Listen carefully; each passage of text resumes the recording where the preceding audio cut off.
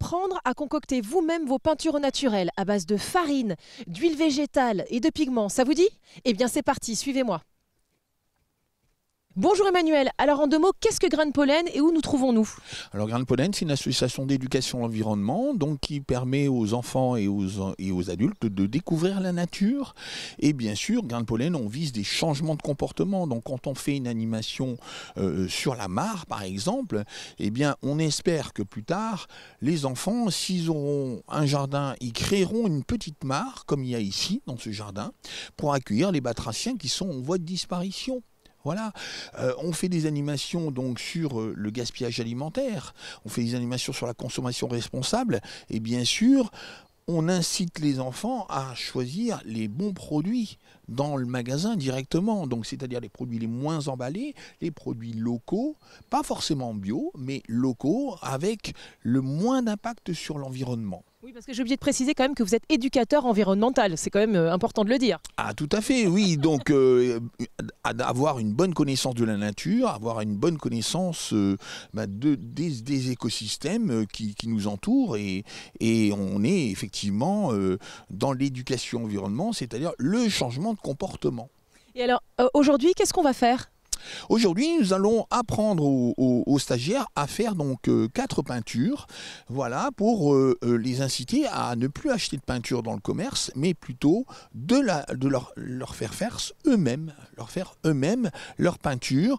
D'un point de vue économique, ça sera très intéressant et puis d'un point de vue écologique également puisque tout finit dans l'eau. Si vous avez des restes de peinture, qu'est-ce que vous faites? Vous les emmenez à la déchetterie et qu'est-ce que ça devient? On ne sait pas bien ce que ça devient. Alors que là, la peinture suédoise, eh bien, dans l'absolu, vous pouvez la reverser dans, l'eau, c'est pas une peinture polluante. Ça ne polluera pas. Ça ne polluera pas, bien sûr. Emmanuel, vous m'avez donné envie. Les téléspectateurs et téléspectatrices aussi ont envie de savoir comment on fait sa peinture. On y va? On y va. Allez, c'est parti. Je vous suis. Alors Emmanuel, on a parlé donc de la peinture. Là maintenant, on est, bah, on est dans le vif du sujet. C'est le cas de le dire. Hein, on est sur le feu. Alors, qu'est-ce que vous êtes en train de faire là? Expliquez-nous à nos téléspectateurs et téléspectatrices. Alors, on est en train de faire une peinture euh, à l'ocre, ou on l'appelle aussi la peinture à la farine. Donc, euh, le principe, c'est que ces peintures-là, déjà, sont très très économiques. Hein, sont très très économiques puisque ça revient à peu près à 2 euros le litre. Incroyable, quand on sait qu'avec des peintures conventionnelles, on est plutôt à 25, 30, voire 50. Voilà, tout à fait. Par contre, l'inconvénient, l'inconvénient, c'est qu'on va être limité dans ce type de peinture-là, hein, je précise bien la peinture à l'ocre, euh, on va être limité dans le choix des couleurs. Est-ce que c'est des peintures pour l'intérieur ou l'extérieur, la peinture à l'ocre? Les deux. Les deux. On peut, on peut voir derrière qu'il y a une, serre euh, et qui était peinte il y a 10 ans voilà, maintenant 10 ans, et c'est une peinture justement à l'ocre, à l'ocre rouge. Et cette peinture, vous voyez, l'avantage, le gros avantage, c'est qu'elle ne va pas s'écailler. C'est-à-dire qu'elle va passer avec le temps. Voilà. Euh, chose que, que, bien sûr, les industriels, les fabricants de peinture et les revendeurs ne veulent pas. Eux, ils veulent euh, que vous consommiez, que vous consommiez de la peinture qui va s'écailler. Et puis ensuite, qu'est-ce que vous allez faire? Vous allez acheter bien sûr un décapant. Vous allez acheter euh, une ponceuse, vous allez acheter tout un tas de matériel qui va vous coûter très cher. Et euh, votre peinture va continuer, vous allez racheter une autre peinture et puis ça va de nouveau s'écailler. Alors que cette peinture-là, elle va elle va passer avec le patiner. Elle va se patiner tout à fait. Et quand on va vouloir remettre une nouvelle couche, eh bien, on va simplement donner un petit coup de poussière, voilà, on va nettoyer le produit. Avec une toile émerie ou Même pas, même pas, même pas, même pas. On va simplement euh, dépoussiérer et puis repasser une couche derrière c'est génial. Et alors, du coup, euh, on parlait des coloris, c'est-à-dire vous disiez qu'il n'y avait que quatre coloris possibles, c'est ça? Voilà, donc on est sur des coloris comme, euh, comme l'ocre jaune. On va avoir de l'ocre euh, donc rouge. Voilà. Après, on va avoir des ocres orangés. Voilà. Et, alors, du coup, là, donc là, c'est à base de farine et d'ocre. Donc, c'est-à-dire, par exemple, alors concrètement, pour faire un litre, il nous faut combien de farine, combien d'ocre? Eh bien, donc là, on a mis pour euh, à peu près euh, un litre de peinture, on a mis à peu près 100 grammes de pigment. Voilà, de pigments d'ocre qui coûtent entre 6 et 10 euros le kilo. Donc c'est vraiment pas cher, je vous ai dit. Hein, Et la farine, du coup, en quantité? Ah, la farine, eh bien là, la farine, on a mis donc, euh, donc 35 grammes de farine.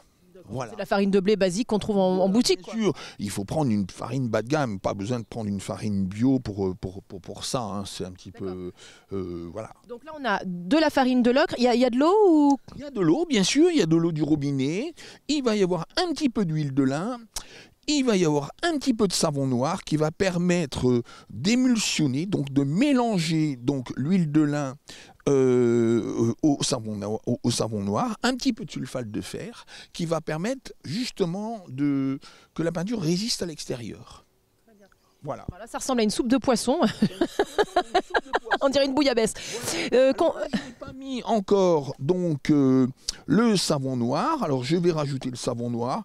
Alors bon, le savon noir, vous savez, ben, écoutez, on va le mettre un petit peu comme ça. euh, c'est normalement 0,5 grammes. Voilà, donc euh, là, vous voyez, on en rajoute très très peu. Voilà. Et en termes de température, il y a une température spécifique pour faire la peinture? Eh bien, euh, il faut que la farine ait l'eau au bout au départ. Et donc, le temps pour fabriquer cette peinture, eh bien, c'est une heure. Il faut quand même une heure pour fabriquer la peinture à l'ocre. Voilà. Donc, Donc- bien, donc, du coup- Pardon, pardonnez-moi de vous couper. Donc, on met l'eau d'abord, on la met à ébullition et ensuite on met la, la farine dedans? tout à fait, tout à fait, c'est ça. Donc, euh, on évite les grumeaux. hein. On peut bien sûr euh, filtrer si ça, si ça, si ça fait des grumeaux, hein, mais, voilà. Mais bien sûr, euh, c'est bien plus facile d'acheter sa peinture dans le commerce. C'est pas le même acte d'achat, hein, puisque là, en fait, ça revient pas cher, mais c'est du temps. C'est du temps, ça prend une heure, voilà. Euh, on est limité dans le choix des coloris pour ce type de peinture-là. Après, si on veut d'autres coloris, eh bien, on va changer de peinture et ça sera une peinture à l'huile de lin. Ah, alors, est-ce que vous pouvez nous expliquer le principe de l'huile avec la peinture à l'huile de lin? Eh bien, l'huile de lin, c'est très simple. C'est de l'huile de lin, de l'essence de térébenthine et des pigments. Mais là, on n'est plus sur, euh, on n'est plus sur la même. euh, là, là, on a un choix, un choix beaucoup plus vaste, beaucoup plus large. Ça coûte plus cher, mais on est toujours sur le même principe, c'est-à-dire que c'est des peintures qui ne vont pas s'écailler. Voilà. Et donc, alors, Par exemple, en termes de quantité, si on veut faire un litre comme là, ce que vous êtes en train de faire, il nous faut combien d'huile de, d'huile de lin Combien de... à peu près un demi-litre d'huile de lin, quoi. Un demi-litre d'huile de lin, un demi-litre de, de, de- d'essence de térébenthine. Pour les Euh, pigments? Et pour les pigments, c'est, quelques grammes, encore une fois. hein. C'est vraiment. euh, le- le- les pigments, c'est vraiment euh, en toute petite quantité pour pouvoir colorer l'huile de lin. Alors, l'inconvénient de cette peinture à l'huile de lin, c'est le temps de séchage. Parce qu'elles mettent du temps à sécher. Voilà, elles mettent peut-être plusieurs jours pour, euh, pour, pour sécher. Alors on peut y rajouter du cicatif, donc c'est un accélérateur de séchage pour pouvoir euh, justement que la peinture puisse euh, sécher plus rapidement. La peinture à l'ocre, en plein été, en 20 minutes elle est sèche. Formidable. Donc la peinture à l'ox, c'est quand même un super compromis, hein, une super alternative. Super compromis, donc ça peut aller à l'intérieur, ça peut aller à l'extérieur. Euh, on peut peindre euh, tout et n'importe quoi, une serre, on peut peindre, voilà les cadres, vous voyez les cadres. justement, la serre, là par exemple, il a fallu combien de litres de peinture pour peindre cette serre? 5 litres de peinture? Ah oui, donc 5 litres. Donc une- euh, pour faire un litre, il nous faut une heure. Donc euh, Vous voyez, on va faire un essai, hein, on, va faire un essai sur, un- bois qui est quand même très très très poreux, puisqu'il n'a il a pas été poncé. hein, voilà. Et donc là, vous voyez, le bois est, recouvert. Voilà, on, on le voit pratiquement plus. Et donc, la deuxième couche, on va pouvoir la mettre eh bien, pratiquement une heure après pour pouvoir. Alors, c'est pas un pinceau formidable hein, que j'ai pris, voilà, mais, mais c'est un vieux pinceau, mais, mais voilà donc le résultat d'une peinture à l'ocre. Voilà, mais tout ça, ça prend du temps. enfin du temps, une heure pour faire un litre de peinture. Honnêtement, c'est pas quand on veut faire des économies, avoir une peinture qui s'écaille pas, donc de qualité et en plus sans produits toxiques, c'est quand même génial. hein. C'est vrai. Alors normalement, il faudrait l'utiliser à froid. Là, je l'utilise à chaud, c'est pas terrible. Il faudrait attendre qu'elle refroidisse. Pour Combien de temps euh, refroidissement à peu près? Oh, bah, en une demi-heure, c'est froid. Hein. Voilà. je- Globalement, il faut une heure et demie entre le moment où on crée sa peinture, le moment où elle refroidit et on peut l'appliquer et on est bien. Tout à fait, Génial. tout à fait. Bonjour, bonjour, quel est votre petit nom? Mélissa, bonjour. Enchantée Mélissa. Alors pourquoi vous, êtes, vous avez tenu à participer à cet atelier aujourd'hui? Euh, parce qu'on est dans une restauration d'un ancien corps de ferme et qu'on aimerait euh, le faire de manière plus écologique et naturelle. Ah, très bien. Donc du coup là, euh, là vous avez regardé des diapos, c'est ça?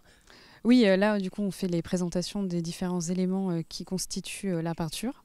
Et du coup, cet après-midi, on passe à la pratique. Ah, bon, bah, ça va être sympa. Un joli corps de ferme, c'est bien ça.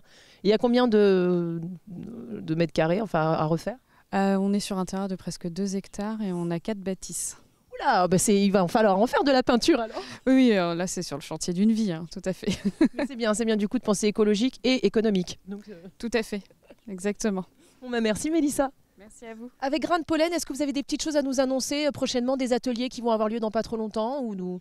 Eh bien, le 14 mai prochain, on va fêter nos 25 ans. Donc, euh, donc on va pouvoir euh, eh bien, euh, venir gratuitement euh, ici.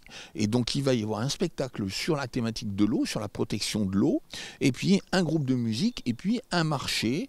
Et puis, on fera des ateliers aussi pour les adultes. Donc, par exemple, et puis pour les enfants, donc on va faire par exemple euh, des smoothies avec des fruits abîmés, montrer que on peut, avec des fruits et des, légumes abîmés, on peut faire des mélanges et réaliser des smoothies, voilà. Il va y avoir une couturière euh, qui, va, euh, qui va permettre aux gens, donc il y aura des machines à coudre, il y aura quatre machines à coudre qui seront en fonction et les gens pourront venir gratuitement faire des petits étuis pour les portables, pour les lunettes. Euh, Bon, bah, euh, ça donne envie en tout cas. Donc c'est le 14 mai. c'est un dimanche et il va y avoir le troc-plante, le fameux troc-plante ce jour-là, eh bien, qui permet aux, aux- aux gens d'enrichir la biodiversité dans le jardin, puisque plus de plantes dans un jardin, plus d'insectes et donc plus de biodiversité. Eh ben, c'est super Emmanuel, vous me donnez mon lancement pour la suite parce que figurez-vous que nous maintenant on part à Bessé-sur-Bray pour Courton-Vaux côté jardin. Donc justement on va parler de jardin. Merci beaucoup Emmanuel. Donc le 14 mai ici à Grain de Pollen, si vous avez envie, c'est gratuit et c'est génial. Merci.